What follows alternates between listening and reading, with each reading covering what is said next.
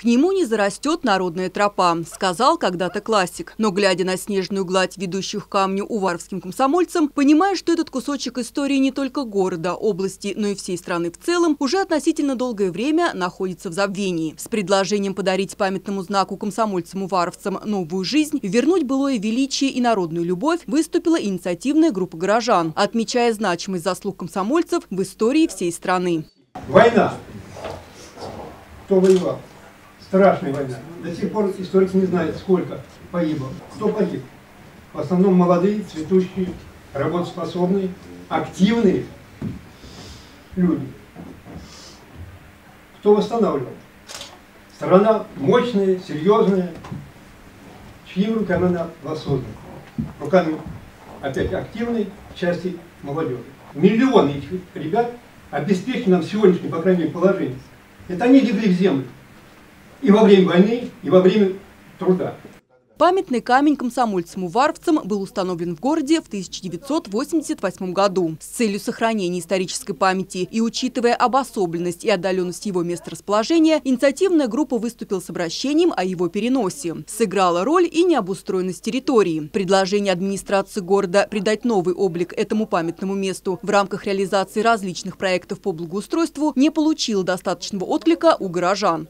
Пробовали населению предлагать благоустройство этой территории, население не поддержалось. Поэтому этот памятник как бы заброшен там стоит, и вот есть предложение перенести. Я свою задачу, как главу вижу, если переносить, нужно переносить в благоустроенную на обсуждение общественности было вынесено три варианта благоустроенных городских территорий для возможной установки камня. В их числе Парк Победы, аллея волонтеров в первом микрорайоне и сквер Три Медведя в третьем микрорайоне. Если вопрос переноса памятного знака был поддержан общественностью единогласно, то по поводу определения места разгорелась жаркая дискуссия. Большая часть, в том числе и члены инициативной группы, выступили за идею установить камень на территории, прилегающей к Парку Победы, памятного и священного места для уваровцев.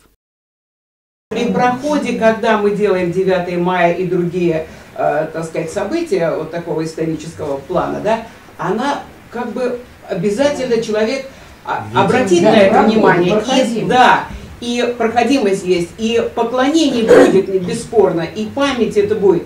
Но, как выяснилось в ходе обсуждения, вписать его в военно-мемориальный комплекс будет весьма непросто, так как может быть нарушена его изначальная концепция. Ведь даже масштабная реконструкция Парка Победы в 2005 году велась в четком соответствии с ранее разработанным проектом.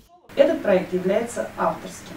То есть вся та задумка, которая лежит вот в основе всего этого комплекса, она закреплена авторски. То есть есть два человека, создавших комплекс. Он выглядит именно таким образом, каким он является сегодня.